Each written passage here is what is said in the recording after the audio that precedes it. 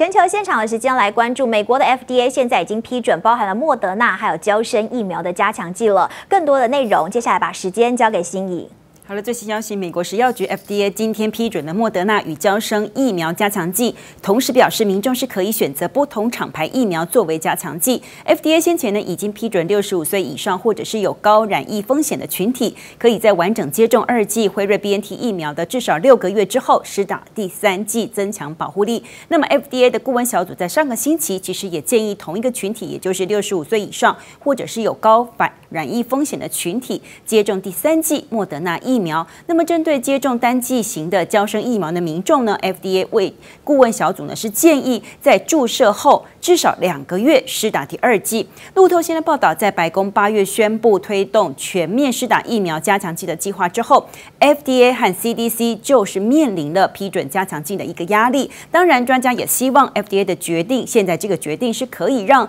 面临传染力比较强，可以在已已经完整接种疫苗群体当中引起突破性感染的 Delta 变异株肆虐的美国人，可以获得另外额外的保护力。那么 FDA 咨询小组呢，昨天也有一份会议内容指出呢，是来自美国国立卫生研究院的疫苗混打数据。参与研究的是四百五十八名的受试者，他们接受了辉瑞 BNT、还有莫德纳以及交生的混打组合。数据呢显示，原本接种交生疫苗的人，在施打辉瑞 BNT 或者是莫德纳加强剂之后，产生更强的免疫反应。那么数据呢也进一步表明，混打不同厂牌的疫苗。对于成年人来说是安全的，包含英国在内呢，其实很多国家都广泛使用 A Z 疫苗混打的策略。但是其实 A Z 疫苗在美国是没有获得美国 F D A 的紧急使用授权。A Z 疫苗使用的是和胶生疫苗类似的病毒载体技术。接下来 C D C 咨询委员会呢也将会召开委员会，预计是在今天来讨论哪些群体可以施打莫德纳和胶生加强剂。C D C 主任呢瓦伦斯基也会根据建议来做出。最终的决定。那么现在根据 CDC 的数据呢，全美国有大约一千一百二十万人已经接种了疫苗加强剂。来看的是北韩在十九号在新浦市附近发射的这个潜射飞弹。那么北韩外交部呢，现在透过官媒朝中社发布的声明表示，这个试射潜射飞弹呢，并不是针对美国，华府不需要为此感到担心或者是苦恼。同时呢，北韩也说，表达对于华府及联合国安理会对于北韩正当行使防御权的荒谬反应的关切。联合国安理会呢，也就北韩试射潜射飞弹举。举行紧急闭门会议，美国驻联合国大使汤马斯·格林菲德在会前还特别说，美国已经提出过无条件与北韩会面，同时也明确表示华府对于平壤是没有敌意的。那么，北韩常驻纽约联合国代表团并没有立刻对于汤马斯·格林菲德的发言做出评论。我们来先来听听看格林格林斯汤马斯·格林斯发言他的现场的说法说法。It is the latest in a series of reckless provocations. Since the beginning of September, the DPRK has launched multiple ballistic missiles, one of which the DPRK claimed included a new hypersonic glide vehicle capability.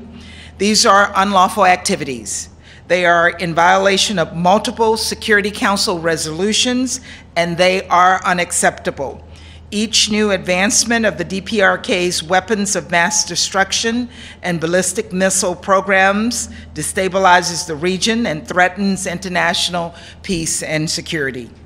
Our position remains clear.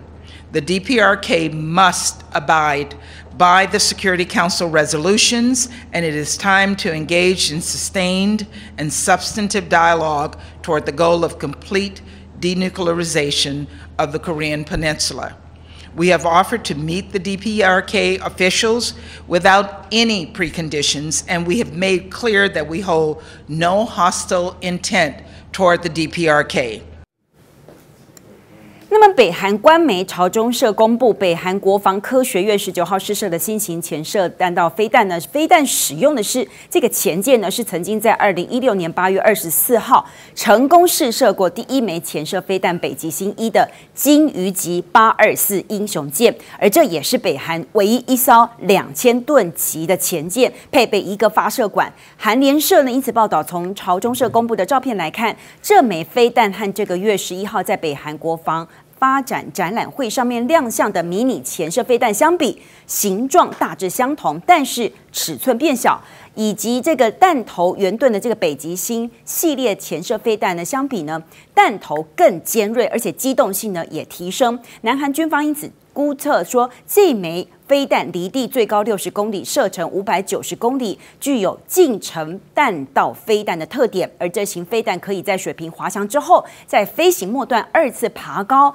比较难以拦截。而在这个时候，南韩总统文在寅他搭上。这个国产南韩国产的战斗机，说是时隔四年，他终于决定出席了首尔国际航空宇宙暨防卫产业的展示会，也就是国防航空展。那么文在寅呢，从水源空军基地。搭乘这一架是 F A 五零南韩国产的战鹰战斗攻击机，一路沿途飞行中青南道天安市的独立纪念馆，还有首尔显中院以及龙山战争纪念馆，最后降落在首尔机场，而成为大韩民国史上第一名。搭乘国产战斗机的总统，同时他也在首尔这个展示会上面开幕仪式上面呢发表演说。文在寅特别强调，南韩将要进入全球七大航太强国之列。来听听文在寅怎么说。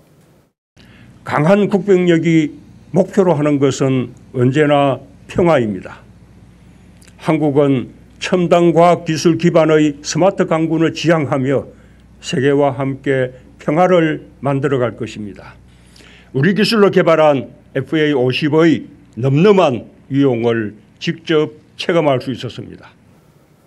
根据韩国媒体韩联社 News One，首尔国际航空宇宙暨防卫产业展示会呢，是因为受到新冠疫情的影响而停办，而时隔两年之后呢，才终于再度的举办，而且规模比起停办前的那一次二零一九年更为盛大，有五十三个国家的驻韩大使以及武官，还有南韩军方重要指挥干部以及主要企业的代表。都有前往展示会来共享盛举。以上是全球现场为您掌握最新状况。